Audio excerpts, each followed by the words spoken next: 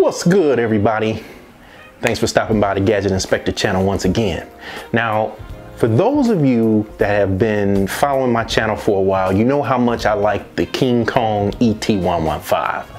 Probably my favorite thing to fly right now. Well, yesterday I went out to fly it and I almost lost it. Almost. But the way I got it back makes for a really interesting story kind of a fish story. So give me about two or three minutes of your time and I'll share it all with you coming up next.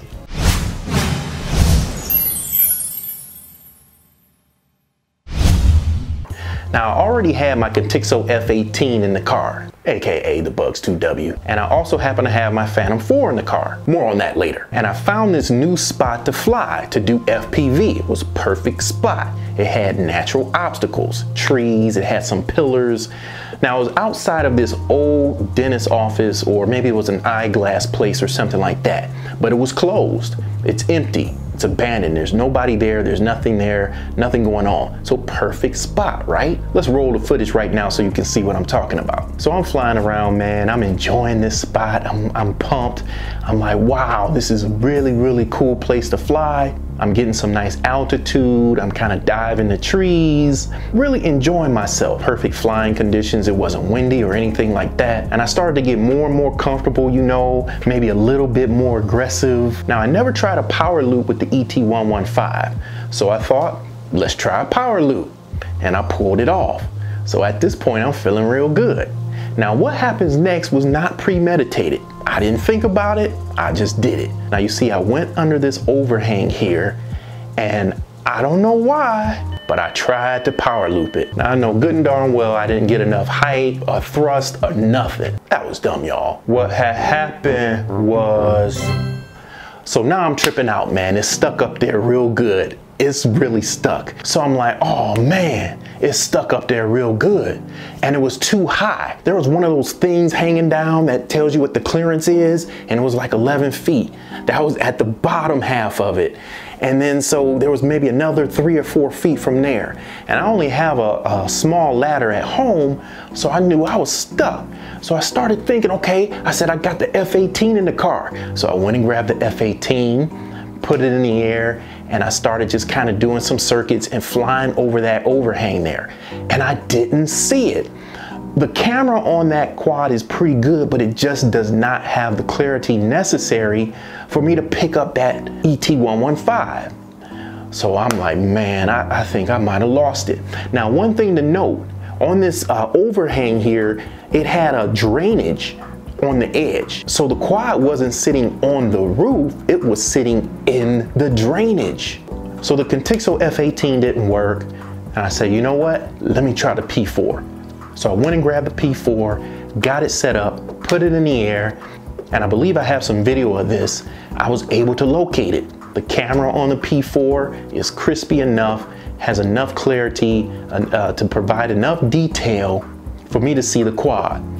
So now I knew where it was, now I had to figure out how to get it.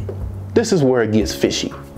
Now what happens next, I didn't exactly get on tape because I was in a hurry, it was getting dark, I had checked the weather report and it said that it was going to rain the next day. So I knew I had to get it now or I was not going to get it. Then I started thinking, I have something at home that I think will work. So I went home real quick and I grabbed this.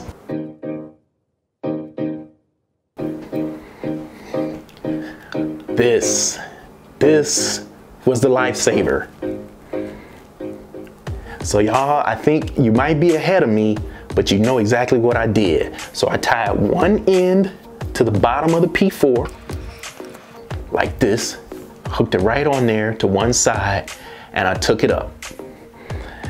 Now it's a fish story because you know how guys, you know, when you go out to fish and you caught that big fish, but nobody was around to see it, you know, everybody got a story like that. Man, it was huge. So this is kind of a fish story because I didn't have the mind to press record on the P4. But I'm telling you, this is what happened. So I put it up there and I had to turn the obstacle avoidance off because it kept beeping and the quad stopped. So I'm, my heart is pumping, I'm nervous, I'm thinking I'm gonna crash my P4 and lose my ET115. I'm like, this ain't a good day, man. So I put it up there. This is dangling down.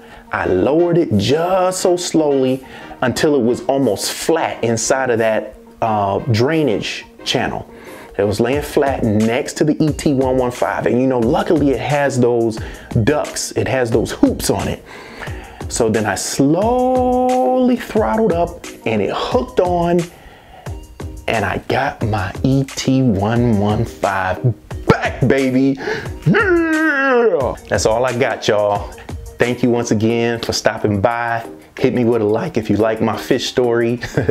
if you're not subscribed yet, please consider doing so. I got a lot of good stuff coming. I do videos like this. I do review videos. I do aerial photography, videography videos. Sometimes I do skits. I got all kinds of gadgets and stuff. Man, I, join us here if you're into that kind of stuff too. And if you know anybody that might be interested in this video, share it with them. And as always, be good to somebody, be good to yourself. I'll see y'all in the next one. Later.